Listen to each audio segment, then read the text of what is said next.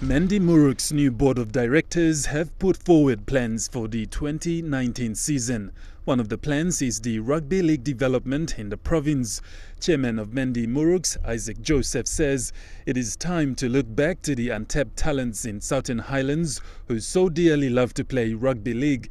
He says Mendi Muruks will lead the way for young rugby league players as their provincial team. Because our focus today um, is to really develop a rugby league back in, in Mendi in Southern Highlands. So we have a lot of um, things happening back home. You guys had a lot of stories about Mendi, you know, all these things about elections. But the thing is, we can't just sit back and hear a lot of stories. So as the government and a lot of people are coming up with strategies, strategies using sports to um, help our people, we think that our Muruks can play a very important role. MRK Director Mark Sakai, who has supported Mendi Muruks for over a decade, says working as a team and with the provincial government is the way forward to get sports development programs running in the province.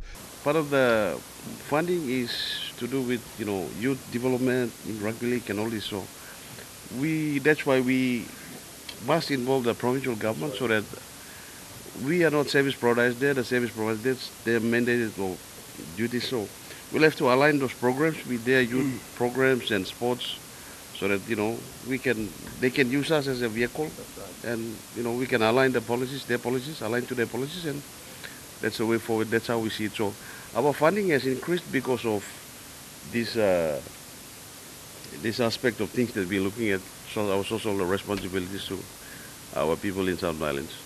Meanwhile, the 60-man train-on squad for the Mendi Muruks will start their training on Monday in Mendi, Southern Highlands, in preparations for the National Rugby League competition. Godwin Eki, National MTV Sports.